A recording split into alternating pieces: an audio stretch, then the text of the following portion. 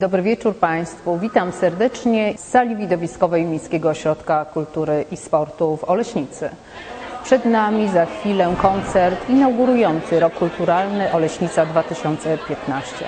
Wystąpi przed Państwem Anna Dąbrowska. Minął 2014 rok. Obfitował wiele wydarzeń kulturalnych. Wystąpiła przed nami wspaniała orkiestra Filharmonii Opolskiej.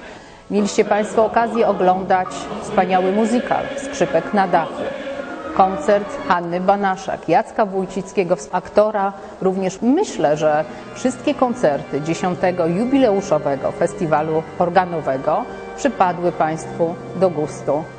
Puentą tych wszystkich wydarzeń była wizyta Krzysimira Dębskiego z orkiestrą oraz chórem. Za nami również inauguracja w wyremontowanym amfiteatrze nad stawami. Pokazaliśmy od klasyki po rock, hip-hop i pop.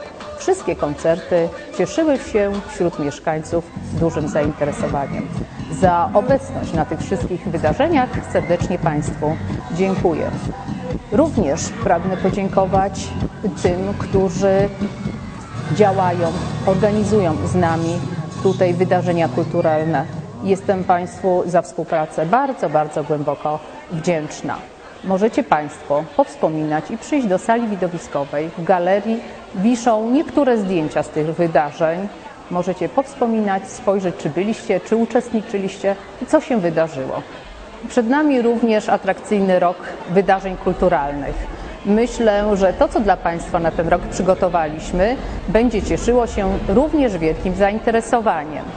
W tym roku już dziesiąta rocznica otwarcia sali widowiskowej Miejskiego Ośrodka Kultury. Program, który przygotowaliśmy dla Państwa, będzie od klasyki po pop, po rock, po hip-hop, po musical. Mam nadzieję, że ten program przypadnie Państwu do gustu. Zapraszam na wszystkie wydarzenia roku 2015 do Miejskiego Ośrodka Kultury i Sportu w Oleśnicy. Dziękuję bardzo.